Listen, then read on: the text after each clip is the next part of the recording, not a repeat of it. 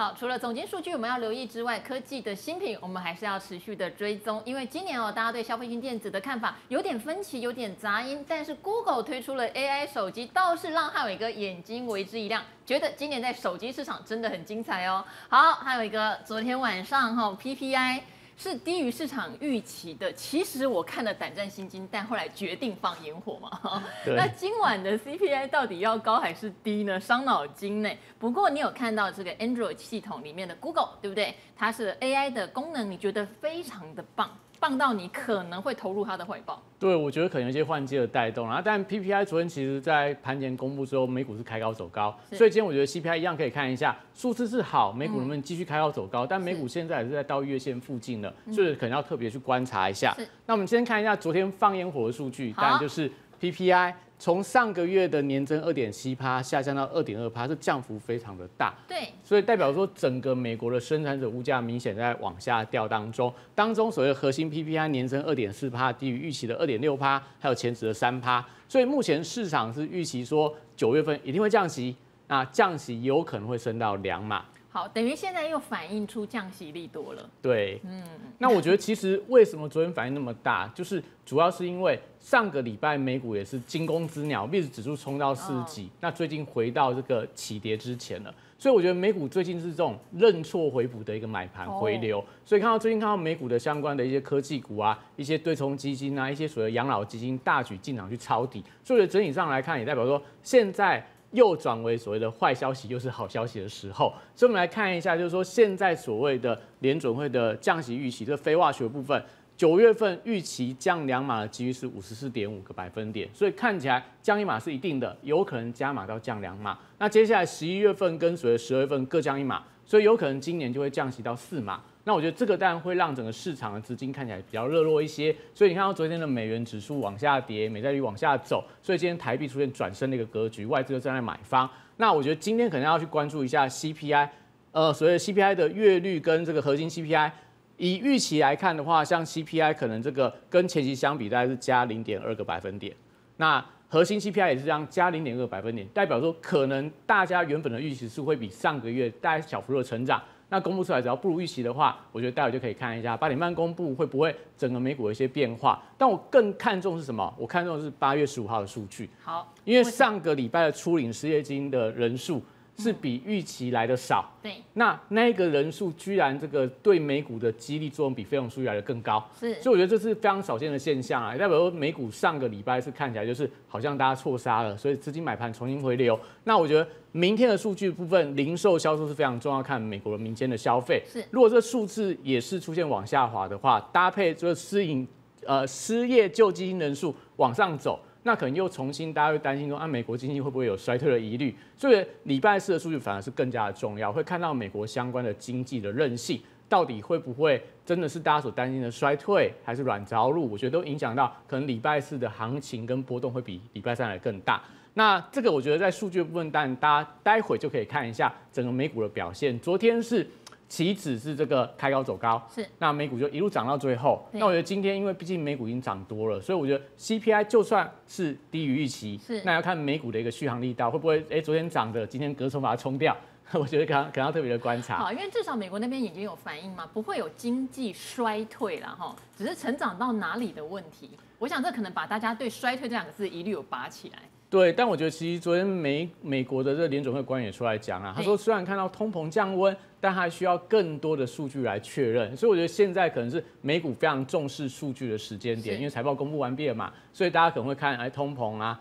看相关的就业啊，看相关的一些消费的动能，我觉得都会影响到联准会到底刚刚哎降四码，它会不会转为降三码，还是这加码变成降五码、降六码，影响到整个行情的变化。那我们来讲到产业的消息。其实昨天这个 Google 在凌晨一点发表了这个全新的 AI 助手，在手机端的，它这个 Gemini 很厉害哦，它可以用所有 Google App 的资讯，那融入到日历提醒啊、YouTube 啊、跟 Music 等等的扩展程式。它的场景是怎么样？就是说，它可以透过，比方说，哎，我们可能最近也许十年、二十年没有见到的同学，要办个同学会，你直接跟 Gemini 讲说，哎，可以帮我策划一下，我们要八零年代，哎，八零年好像太久了，好，我们。九零年代的怀旧风，对，他就会帮你举办说，哎、那我们可能穿什么样的服装啊，准备什么样的衣服啊，吃什么样的食物，完全都帮你安排好，所以我觉得非常聪明。那在我们它还有什么功能？它可以去读取你的荧幕，随时去回答问题，而且跟多种手机去 App 交互。我昨天看他的这个发表会里面有一个场景，他是把类似泰勒斯的演唱会，可能在十月份，对，他把那个照片照出来之后，直接跟他讲说，那你可以帮我安排一下我十月份的相关的 Google 日历面有没有空档？有空档你帮我订那一天的票。嗯，哦，直接用讲的方式，他可以跨过多种不同的 app 来帮你完成一件工作，是不像我们以前可能就哎、照片照下来之后，我要再开日历再看一下，那就看他形式那边可不可以做个订票的动作，还要开订票网站，一键帮你完成，所以非常的聪明。那再来就是说，它还可以干嘛？他可以在使用 YouTube 的时候，你可以问他你正在观看内容的问题，它的场景是什么？就比方说我们现在去韩国，是你看到韩国一些介绍韩国的美食啊对，可以去哪边逛街啊，他直接跟他讲说，你可以帮我把所有的餐厅跟去的地点标注在我的 Google 地图上面去，你不用再做功课了，他直接帮你安排好。所以我觉得看到这个之后，我就觉得，哎、那看起来他可以帮我解决很多的事情。是对，而且他也有类似这种呃对话录音的功能。比方说，我们可能平常在对话，那某一天可能哎、某个像微良跟我报了一支名牌，嗯。我突然间没有记住他的股号，嗯，当他直接帮你录音之后，他可以跟我调出来那个他当时跟我讲的是是。哪一张股票，目标价在哪里，好，那这个就可以帮你记录出来，你可以随时问他，把它抽取出来，让你有更好的这种对这种记忆性的一个问题。好，我相信大家看理财谈秀应该可以得到验证是没有问题的，一边看一边对，到底上次对 汉伟讲的有没有验证的？对，那影片直接帮你做成一个表格嘛，所以你就可以很容易去验证啊，上次汉伟哥讲了什么股票，结果后面跌的跟什么一样。我觉得这个当然是有好有坏啦。好，所以我我们看到会附上你的赖，让他们自己去联络了哈。好，所以我们看到软体之后，但硬体就会呃可以稍微去看一下。我觉得硬体就是大概就中规中矩。中规中矩啊。对，嗯但是因为刚刚提到了有很多的 AI 功能，它带动的是硬体的需求，所以我们先看一下外观，其实跟上一代差不多啦。那 Google Pixel 系列在日本卖的很好，大家都是几乎第一名，是所以我觉得它其实是一个不可小看的安卓手机的一个发表。那当中我们大家可以看到相关晶片，这一个晶片是三星做的，所以跟台积电没有关系。那再来可以看到，因为要用到 AI，所以相关的手机的暂存记忆体都大幅的提升，所以对记忆体族群来讲，我觉得会有一些规格规格的带动。那再可以看到相关的存储的部分，就内存的部分也开始出现扩大，因为你相关要处理一些暂存的影片啊，要帮你合成照片啊，要帮你做一些所谓的呃即时的边缘运算，都需要很大的记忆体的一个规格。那当中可以看到资源规呃 Google 的 AI，那价格部分我觉得都还算亲民啊，七九九九九九到一零九九，那最贵的就是这个折叠式的手机，那翻起来我觉得还蛮漂亮的，大概是从六点三寸扩大到八寸，所以最近大家可以发现到很多的新厂新的手机都在发一些所相关折叠的一个功能。那另外也可以看到像华为，这大概是最近折叠机市场里面最期待的一件事情，终于要有一个三折的手机来了。三折，对，不是打三折。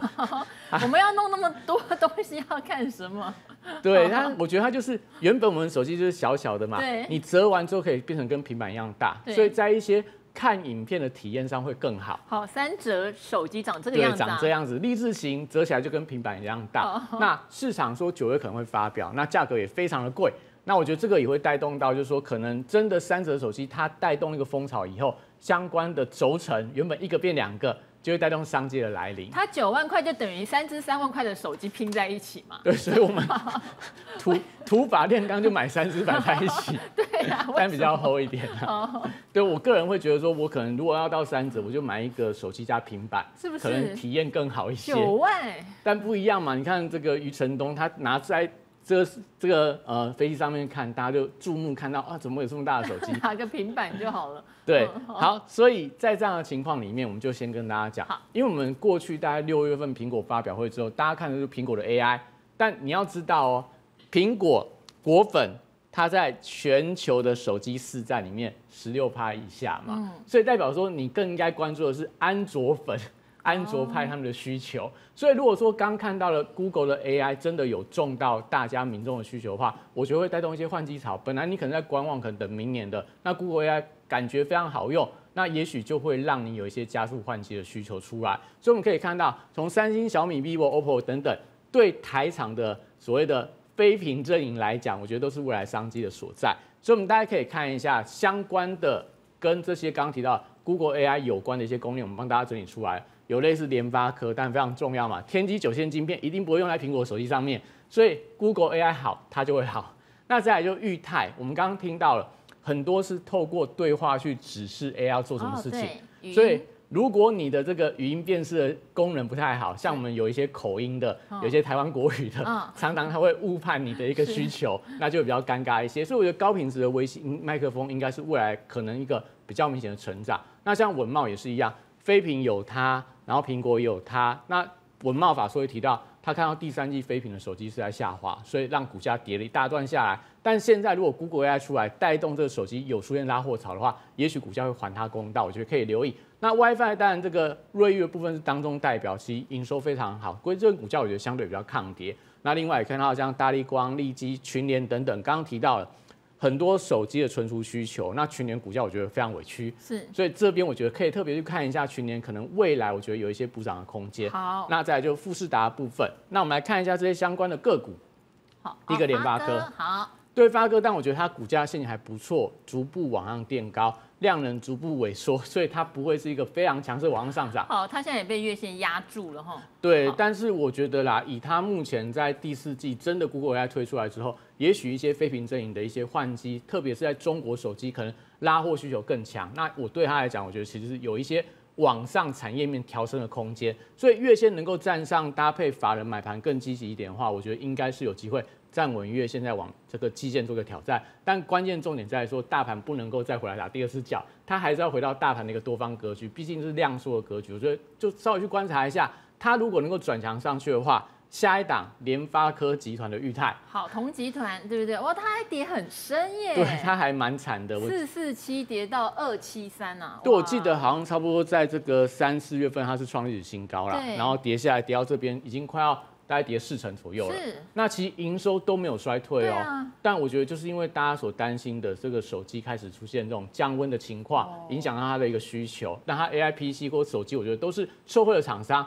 对于接下来的语音辨识来讲，我觉得裕泰是可以特别留意。最近我们可以看到股价，我觉得这边你不用追，但是其实大家有在买方，所以我觉得股价你可以稍微等一下。如果你真的要买，要做一个动能派的话，站到月线再买。那如果说你是这个价值派的话，你这边去买它。跌破前低去做一个停损，我觉得其实相对风险是有限的。那再来我们可以看到，在所谓的富士达是那刚提到了，就是华为要三折，然后这个 Google 手机它也推出一个全新的折叠手机，我觉得那个折叠看起来蛮漂亮的啦，那应该也会带动一定的需求。那最近台湾的小米也推了折叠手机，还有华为在八月初的新品发表会也推了一个比较低价版的，所以我们大家可以知道，就是说最近整个新机除了 AI 功能以外，有折叠手机功能更好，所以对富士达来讲的话，你会发现到股价一样从高档回跌下来，但这一波我觉得跟很多的电子股比较起来，它相对没有跌的那么重了。你会说八百多跌到六百多很重哎，但其实我们刚刚有那种跌三成、跌四成的，相对我觉得比较抗跌啊。那这边它比较好的地方是，它逐出一个类似底部的形态出来。那现在是站到所有均线之上哦，而且最近的一个投信跟外资同步站在买方。那最近股价为什么相对比较强？就是传出来。它也切入到水冷的市场，对相关的那个水冷接头，哦，水冷接头，对，现在缺货的水冷接头，富士达有出货，所以我觉得就是好像除了折叠机的动能以外，它有一些新题材的带动。那折叠机我觉得还是富士达的本业，因为折叠机当中，它应该是目前厂商专利的一个门槛最高的一家公司，所以不管是华为订单、非屏阵营啊，当然苹果没有啦，我觉得都是代表它未来只要折叠机的市场还是好。我觉得股价应该还是有还它公道、慢慢补涨的空间。好，等于虽然消费性电子有点杂音啦，但是看来手机的复苏，非屏或苹果，现在看起来大家反而是最有信心的一块哦。对，尤其是 AI 的功能出来之后啦，我觉得应该会有人用过之后觉得很好用，那也许就会有一些换机的需求。好，这边非常谢谢题材猎人汉伟哥。